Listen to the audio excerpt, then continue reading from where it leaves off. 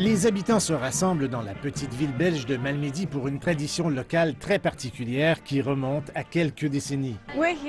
Nous sommes ici à la convention annuelle de l'omelette géante organisée par la confrérie de Malmedy.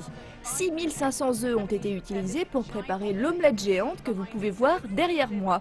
Il semble donc que les habitants de cette ville belge n'ont pas été secoués par le dernier scandale des œufs contaminés.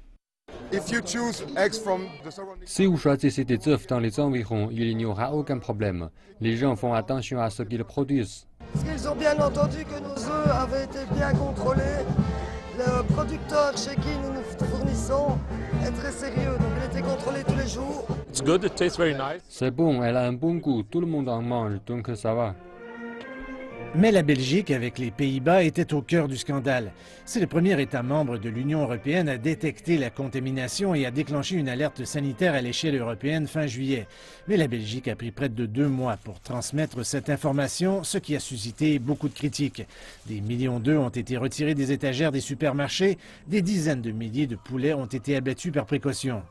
La Belgique est peut-être très fort critiquée, mais il faut quand même se rendre compte que euh, c'est grâce à la Belgique que la fraude a été identifiée. Actuellement, certaines exploitations ont déjà été libérées, d'autres sont encore bloquées. Donc on peut vraiment euh, dire que euh, à partir du moment où un producteur peut livrer ses œufs la Commission européenne affirme qu'elle tiendra un rassemblement des États membres concernés fin septembre pour examiner les moyens de résoudre les problèmes de fraude alimentaire et de sécurité alimentaire.